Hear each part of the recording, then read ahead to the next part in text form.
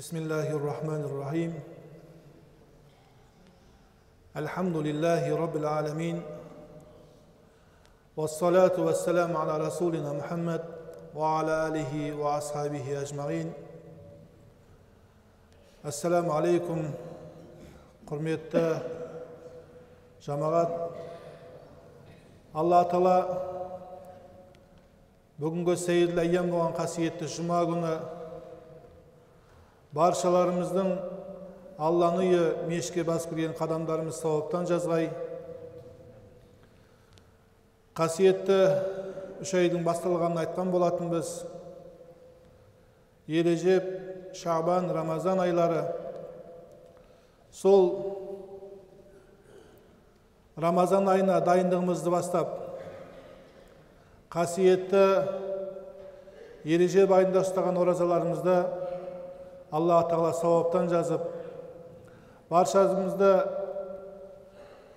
айлардың сұлтаны қасиетті рамазан айына аман есен жетуімізді нәсіп етіп рамазан айында шексіз сауапқа кенеліп оразаларымызды толық ұстаған алланың сүйікті құлдарынан болуды алла баршамызға нәсіп қылсын. Бүгінгі жұма уағызы исра және миғраж оқиғасы құдай қаласа осы ережеп айындағы қасиетті күндердің бірі бұл миғраж бұл осы 23-нен 24-не қараған яғни осы жексенбіден дүйсенбіге қараған түн мүмкіндігінше нәпіл құлшылықтарымызды орындап аллах тағалаға сансыз садақ айтып сана айтып мадақтарымызды жеткізіп пайғамбарымыз саллаллаху алейхи вассаламға салауаттар айтуымыз қажет. Иншалла алла тағала баршамызға нәсіп қылсын. Енді қазақта бір жақсы сөз бар. Әрқашан өзінің көзбен көргеніңді айтып жеткізу қолмен ұстағаныңды айту сондықтан да осы осыдан екі күн бұрын астана қаласында елбасымен кездесу өтті. Сол кездесуде өзім де болдым. Көзбен көрген сондай бір жақсы жаңалықтармен де бөліскім келіп отыр. Жалпы елбасының барша осы мұсылман жамағатына дінімізге ерекше құрметін байқадық. Әрқашан өзінің қамқорлығын жасайтындығын жеткізіп сол жерде болған дін министріне де басқа да өкілетті органдарға ол кісі өзінің тапсырмасын беріп жатты. Бұл дегеніміз біз үшін үлкен қуаныш. Мынау кейінгі уақытта әртүрлі келеңсіз оқиғалар болғанын білеміз. Мұның барлығы біздің өзіміздің кемшіліктерімізден болған дүние. Өзіміз жік жікке бөлініп бір бірімізбен дауласуға дейін бардық тіпті кейбір өңірлерде соттың алдына барып жүгінуге де барды осының барлығын ескерген елбасы бұның барлығы біздің діни сауатсыздығымыздың арқасында болып жатқан дүние екендігін айтты сондықтан да біздің дінімізді өркендету үшін жалпы 21 ғасырдың әрбір азаматы сауатты өзі сондай зиялы зияткер болуына да ол кісі үндеп және де осынау алматы қаласында орналасқан нұр университетінің бір филиалын астанаға салып беруге де ол кісі уәде етті. Яғни оқу орындарымызды көбейтіп жастарымыз діни сауатты болып ислам дінінің негізгі құндылықтарын бойына сіңіруге де ол кісі тапсырма беріп жатты. Бұл дегеніңіз біз үшін білім алу пайғамбарымыз саллаллаху алейхи айтқандай сонау алыста қытайда болса да барып алуға бізді үндеген болса пайғамбарымыз саллаллаху алейхи вассаламның осы бір өсиетін біздің елбасымыз өзіміздің елде де толықтай мүмкіндік бар екендігін оған мүмкіндік болмаса соны жасауға да мұрындық болатындығын жеткізіп жатты. Одан бөлек мешіттеріміздің барлық мынау шығындарында ол кісі хабардар екендігін ә, мешіттердің имамдарын жалпы кейбір өңірлерде шалғай ауылдардағы мешіттердің имамдарының жағдайының нашарлығын ескеріп арнайы фонд құрылып сол фонд арқылы имамдарымыздың мешіттің беделін арттыруға да ол кісі өзінің үлес қосатындығын жеткізіп жатты. Сонымен қатар осы жақында ғана шыққан мақаласынан да біраз сөз қозғады. Бұның барлығы біз үшін біздің болашағымыз үшін керек дүние. Енді көбіңіз білесіздер мен енді осы қазақ елінің көптеген өңірінде қызмет жасадым. Бір жатағымның жетегінде жүрген бір жігітпен сөйлескен кезінде ол маған айтқан еді айналайын қазақтың баласысың бұл ісің әрекетің дұрыс емес деген кезде мен қазақ емеспін мен мұсылман болсам болды дейтін азаматтарды да көрдік. Сонда оның өзі сол сөзді қалай айтты дейтін болсаңыз білімсіздігінен айтты. Мен сонда әлгі жігітке сұрақ қойдым. Бауырым сен құран сүннетпен жүресің бе? Иә әлбетте мен тек қана құран мен сүннетпен ғана жүремін онда құранды неге оқымайсың алла тағала қасиетті құран кәрімде ұлт қылдым ұлыс қылдым деді яғни бір бірлерін тану үшін алла тағала бізді ұлт қылып ұлыс қылып жаратқандығын жеткізді яғни біздің қазақ болуымыздың өзін алла тағала қасиетті құран кәрімде бекітіп берген болса сен не үшін өзіңнің қазақ екендігіңді айтып қоя аласың яғни қазақтың қазаққа ғана жаны ашиды осындай тәуелсіз еліміздің ынтымағы мен бірлігі үшін әрбіріміз бір бірімізді қадірлеп құрметтеп өзіміздің тарихи болмысымызды дәстүрімізді насихаттаған кезде ғана біз ел болып бір дамыған елдердің қатарында болатынымызға ешқандай күмәніміз жоқ. Қазақта бір сөз бар ораза намаз тоқтықта дейді. Кімнің оразасы намазы толық болсын дейтін болсаңыз ол елде тыныштық болуы тиіс. Мен өткен жылы еуропада конференцияда болдым.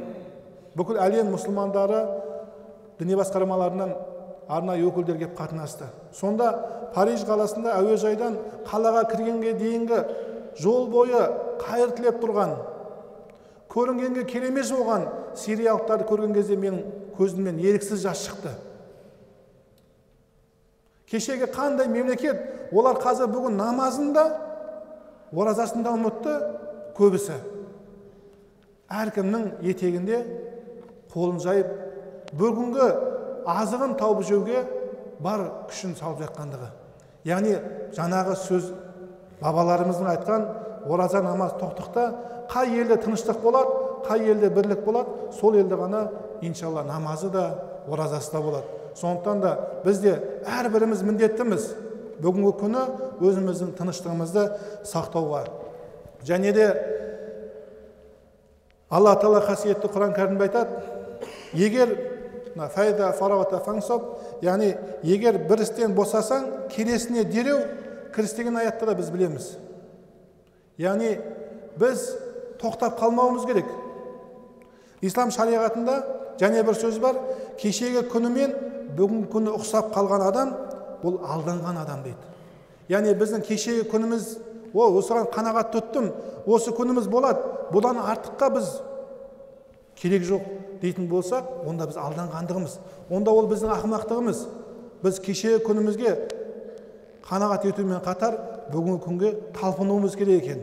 Яғни кеше сіз құранның бес аятын білген болсаңыз бүгін және бір бес аятты жаттаңыз. Немесе одан да жақсы елімізге пайдасын тигізетін сондай жақсы амал жасауға ұмтылуымыз керек екен. Сондықтан да біздің ә, әрбіріміз осы қазақ елінің болашағы үшін жауаптымыз.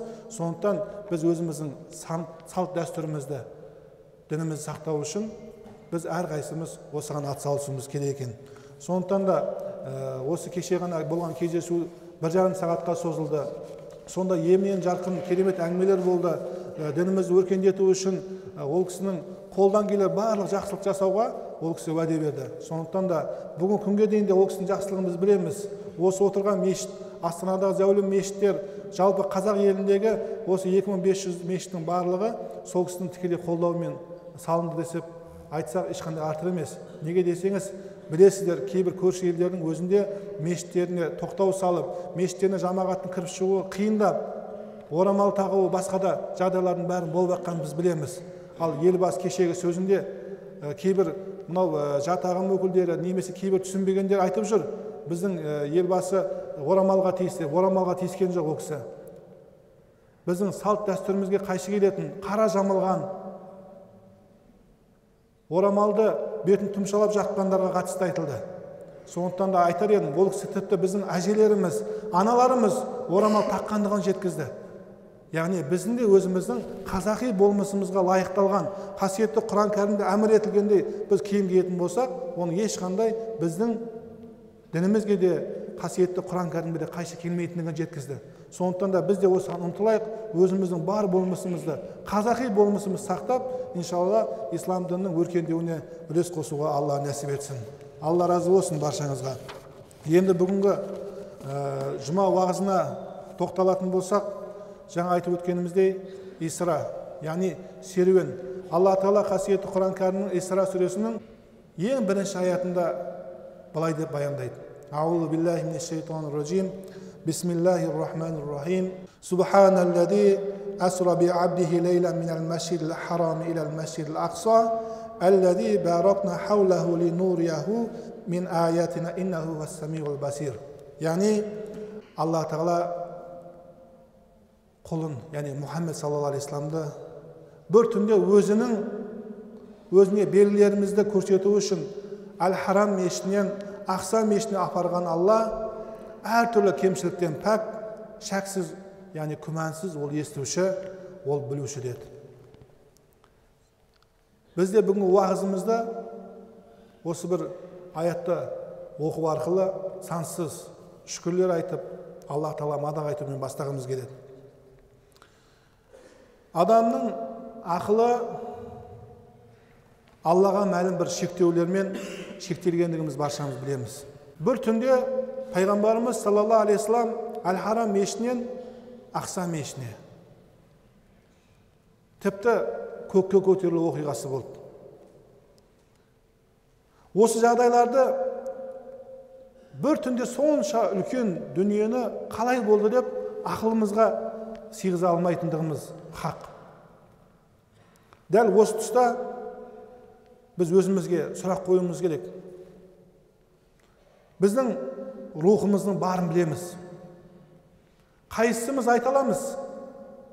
Біздің рухымыз денеміздің осы бір тұсында тұр деп оны ешкім айта алмайды. Өйткені ол біздің ақылымыздан тыс дүние. Дәл сол сияқты біздің жүрегіміз соғып тұр. Ол қалай қандай күшпен соғып тұр деген болатын болсақ оған да біздің ақылымыз жетпей жатады. Осы сияқты өз денемізге және одан тыс мәселелерге қатысты жауабы нақты зати дәлелсіз болған көптеген сұрақтар бар. Ал зати дәлелі жоқ нәрсе ол нәрсені жоққа шығармайды. Дәл солай алла елшісі саллаллаху алейхи бір түнде харам мешітінен ақса мешітіне және миғражға көтерілгендігі дәл сондай хақ яғни біздің ақылымыздан тыс дүние сондықтан да иман шарты болып саналатын пайғамбарымызға иман ету мәселесі де дәл осы тұста бізге сынақ болады себебі пайғамбарлықтың шарты пайғамбарлық мұғжизасы болу яғни басқа адамдардың қолынан келмейтін іс әрекетті пайғамбарлық мұғжизасы арқылы орындауы яғни пайғамбарымыз саллаллаху алейхи вассаламның исра яғни серуендеп меккеден иерусалимге ақса мешітіне келуі ол жерде миғражға көтерілуінің барлығы біздің пайғамбарымыз саллаллаху алейхи вассаламның пайғамбарлық мұғжизаларынан екендігін де біз білуіміз керек екен қазіргі таңда қиямет жайлы сөз қозғаған кезде сол қияметті барып көрген адам бар ма екен егер соны көріп келген адам болса айтсыншы мен көріп келген адам болса иман келтірдім дейтіндер де болады соған сендім алла тағала құлшылық етемін дейтіндер болады дәл осы мираж оқиғасы сондайларға дәлел яғни алла тағаланың әміріменен пайғамбарымыз саллаллаху алейхи миғражға көкке көтерілген кезінде жәннатты тозақты көргендігі. Пайғамбарларды періштелерді көргендігі туралы баян етіледі. Сондықтан да әлгінде оқыған аятты алла тағала субхана яғни алла пәк деп бастауының өзі бұл үлкен ерекшелік. Яғни алла пәк мынау жалпы араб халқы бір нәрсеге таң қалатын болса субханалла деп жатады. Мынау бір қандай ғажап дүние таң қалған дүниесін субханалла дейтін болса бұл жерде де қасиетті құран кәрімде субхана деп басталуының өзі бұл жерде үлкен таңғаларлық адамның ақылынан тыс дүние екендігін баяндап тұр. Және де бұл оқиғаға мұғжиза себебі аятта асыра яғни серуен еткіздік деп келеді. Бұл жерде пайғамбарымыз саллаллаху алейhi серуен еттім деп айтқан жоқ. Бұл жерде серуен еткізді. Яғни алла тағаланың әміріменен яғни ұлы құдіретті иесінің араласқан іс екендігін баяндап тұр. Адам баласы сол кездегі арабтар айтқандай ақса мешіті. Түйелеріміздің бүйірі қайысып бір ай дегенде қиындық жететін мекенге бір түнде барып келуі мүмкін емес деп шуылдаған болатын сонда бұл жерде адами ақылмен сараптасы шынында мүмкін болмаған дүниені алла тағаланың әмірімен болғандығын пайғамбарымыз саллаллаху алейhi вассалам мұғжизасымен болғандығын жеткізеді исра оқиғасы болған кезінде бұл жерде пайғамбарымыз саллаллаху вассаламның өзі сол адамдарға келгеннен кейін жолда не көргендігін барлығын баяндап берді. Тіпті өзінің болмаған жері әл көрмеген жері сол исра оқиғасынан кейін келіп сол меккеліктерге сол жалпы болмысын сипаттап беруінің өзі яғни алла тағаланың құдіреті арқылы барып келгендігінің бір дәлелі болатын. Енді осы тұста бұл не үшін? Ақса мешітінде болды дегенде сұрақтар кейде шығады. Неге әл харам мешітінде неге меккеден көтерілмеді деген сұрақтар туады. Сол кезде ә, біздің жалпы ғалымдарымыз бірнеше себептерін айтады. Соның бірінші себебінде ә, имам шағрауи деген кісі былай деп келтіреді. Ол кезде әл харам мешіті көп мешіттердің бірі еді. Және пұттармен ластанған болатын соның алдында. Тіпті арабтар сол кезде бұл арабтың үйі дегенде сөздер айтатын. Сол уақытта керісінше мұса алейхисалам иса алейхисалам тіпті бани исраил қауымынан шыққан көптеген пайғамбарлардың тарихы жатқан ақса мешіті сол кезде құрметтірек еді дегенде мысал келтіреді. Яғни ақса мешітіне келуінің яғни ақса мешітін серуендеп көкке көтерілуін осындай бір дәлелге келтіреді. Және екінші бір дәлелде себебінде былай дейді. Ислам діні тек қана арабтар үшін түскен жоқ. Ол кезде көп адамдарда болған. Бұл ислам діні арабтар үшін ғана түскен біздің өзіміздің дініміз бар өз құлшылығымыз бар деген де пікірлер болған. Сондықтан да иләһи діндердің орталығы болған сол кездегі ақса мешітіне келуінің өзі пайғамбарымыз саллаллаху алейхи дінімізді тек қана арабтар үшін емес бүкіл адамзат баласы үшін әкелген дін екендігін бұған дейінгі келген діндердің барлығының күшін жоюшы дін екендігін дәлелдеу тұрғысынан да ақса мешітінде исра оқиғасының болуын сипаттаған. Және бір үшіншіден исра оқиғасының бұл жерде орын алуы. Яғни исра бұл серуен бұл жерде орын алғандықтан бұл жерде меккеліктердің арасында ақса мешітін көргендер болды. Бірақ пайғамбарымыз саллаллаху алейhi көрмеді дейді. Яғни пайғамбарымыз саллаллаху алейhi көрген дүниелерін айтып келуі сол адамдардың бұл зати дәлелі болатын дейді. Ахмад ибн хамбал разиаллаху анху сахих жолмен жеткізген хадисте арабтар исра оқиғасын жоққа шығарған кезде мына сөздерді жауап ретінде пайғамбарымыз саллаллаху алейhi айтқандығын жеткізеді. Және ибн аббас разиаллаху анху былай дейді. Пайғамбарымыз саллаллаху алейхи вассалам байтул мақдисқа алланың құдіретімен серуенделді. Оралған соң болған оқиғаның барлығын айтып берді. Және де байтул мақдисты сипаттады. Жолда келе жатқан меккеліктердің тіпті сауда керуенін де сипаттап берді дейді. Және бір хабарларда керуеннің қай жерде қанша адам бар қанша түйе бар екендігін де пайғамбарымыз саллаллаху алейhi баяндады дейді. Яғни бұл хадис исра оқиғасының мұғжиза екендігінің дәлелі және де арабтар ақса мешітінің пайғамбарымыз саллаллаху алейhi сипаттағандай екенін білсе де ол кезде соған ермей иман келтірмей керісінше олар былай деді дейді. Мұхаммедтің айтқанына сенбекпіз бе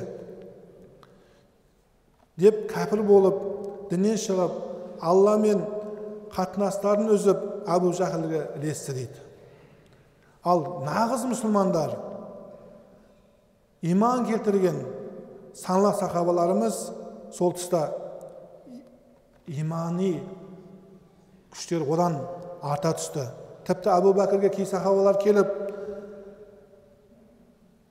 миғраж исра туралы сөз болған айтып жатыр деген кезде сендер осында сөздеп тұрсыңдар ма? Алла елшісі бұдан да таңғаларлық дүниені айтатын болса мен мүлтіксіз оған сенемін деген екен әбу бәкір разиаллаху анху. Сондықтан да біздің әлгінде айтып өткеніміздей бір түнде болған исра оқиғасына біздің ақылымыз жетпесе де біз иманымызды күшейтіп иманымыз арқылы алла тағалаға әлгіндегі біз өзімізге айттық қой. Рухымыздың қай тұста екенін білмейміз. Дәл сол сияқты жүрегіміздің қалай соққанын білмейміз. Бұндай мысалдар өте көп. Сол сияқты бұған да иман етіп алла тағалаға сенуіміз арқылы пайғамбарымызға сену арқылы иманымызды арттырады екенбіз. Енді миғраж туралы алла иесі саллаллаху алейхи жерден көкке көтерілуі. Мираж мәселесіне келген кезде исра оқиғасы баяндалғандай бұл жерде нақты құран аяты келген жоқ. Яғни мысалы үшін ә, асыра мен серуен өткіздім деген сияқты миражға көтердім деген жер жоқ. Дегенмен миражда болған оқиға жайлы алла тағала қасиетті құран кәрімде баяндайды. Ол жерде аятта былай деп келтіреді.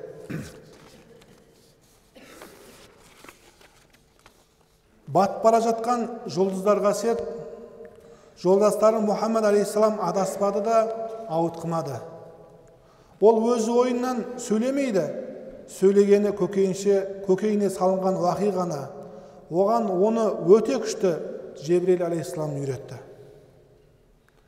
ол қуат иесі яғни жебірейіл алейхисалам өзінің бейнесінде тура тұрды дейді ол жоғары көк жиекте еді ол жақындап төмендеді тіпті садақтың екі басындай тіпті әлде жақынырақ.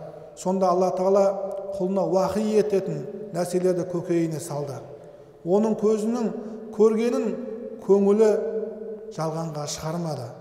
Ал енді оның көрген нәрсесіне сендер таласасыңдар ма? Расында ол жебірейіл алейхисаламды екінші рет көрді. Тұрақтау ағашының жанында оның қасына мауа жәннаты бар. Сол уақытта ағашы қаптаған нәрсе қаптады. Пайғамбарымыз мұхаммед саллаллаху алейхи вассалам көзін таймады және үстірт қарамады. Расында ол раббының ірі белгілерінен деп яғни миғраж оқиғасын осындай баяндайды. Яғни миғражға көтерілген кезде пайғамбарымыз саллаллаху алейхи вассаламның қандай пайғамбарларды көргендігін ә, періштелердің ә, жасап жатқан құлшылықтарын көргендігін біз әр жылы осылай баяндап жүрміз. Бұл жерде бүгінгі біз ғайби болған дүниелерге мейлінше тоқталып жатырмыз. Тіпті сол ә, біз білеміз құран кәрімді алла тағала нәзіл етіп түсірді. Негізгі аяттардың барлығы жерге түсті. Бірақ біздің ең негізгі құлшылығымыз намаздың миғражда парыз болғандығында айтқымыз келеді. Алла тағала қасиетті құран кәрімнің анкабут сүресінде инна яғни шындығында намаз жамандық пен арсыздықтан тияды деген болса намаздың басқа ғибадаттардың барлығы күнә белең алған жер жезінде парыз болған болса бұл толықтай бойұсынушылықтың белең алған күнә атаулыдан пасықтық жоқ жерде миғражда көкте парыз болғандығын жеткізгіміз келеді құран кәрімде. Осы аятта намаздың барлық арсыз жаман істерден тыятындығын жеткізіп тұр. Миғраж және исра оқиғасы барысында болған жайттардың жайында көптеген хабарлар мен ғибратты оқиғалар бар. Бүгінгі уағызымыздан аларғы негізгі ғибрат адам баласы барлық нәрсе адами ақылға сыймаса да біз оған иман етуіміз. Алла тағала бізді ғайыппен сынайтындығын естен шығармауымыз керек. Мұсылманның сенімінің ерекшелігі ғайыпқа. Яғни көзбен көріп қолмен ұстамаған аллаға және алланың бізге де ғайып еткен тозақ пен жәннатты иман келтіруінде. Егер де біз алла тағала көрсетіп қоятын болса яғни мына тозақ пен жәннатты көрсетіп қойған болса тіпті тозақтың ауырлығын біздің көзіміз көрсетіп қоятын болса біз онда сәждеден басымызды алмай көтерместен қияметке дейін яғни бұл дүниеден өткенге дейін сәждеде басымыз болар еді. Бірақ алла тағала қасиетті мүлік сүресінде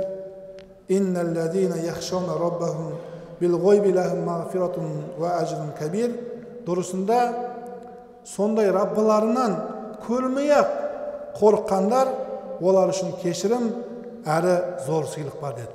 Яғни ғайып болған дүниеге яғни біз алла тағаланың ұлы жаратушы ұлы құдірет иесі екендігін білуіміз арқылы ұлы жаратушыдан қорқып тозақты көрмесек те сәждеге барып құлшылығымызды орындауымыз бұл біз үшін үлкен сыйға кенелтетін амал екен. Яғни біздің амалымыз арқылы алла тағала кешірім мен және де зор сыйлықтың барлығын бізге жеткізді. Сондықтан да аллайы шынайы алла тағала шынайы иман келтірген пенделердің қатарында болуды алла тағала баршамызға нәсіп қылсын. Мына енді исра оқиғасының негізгі әрбір несін талдамай мейлінше жалпы осы ғайби дүниелеріне тоқталып өздеріңізге жеткізуге тырыстық. Сондықтан да алла тағала намазымызды құлшылықтарымызды қабыл қылсын. Алла разы болсын алла тағала ниеттерімізді қабыл етсін ассаламу алейкум уа рахматуллахи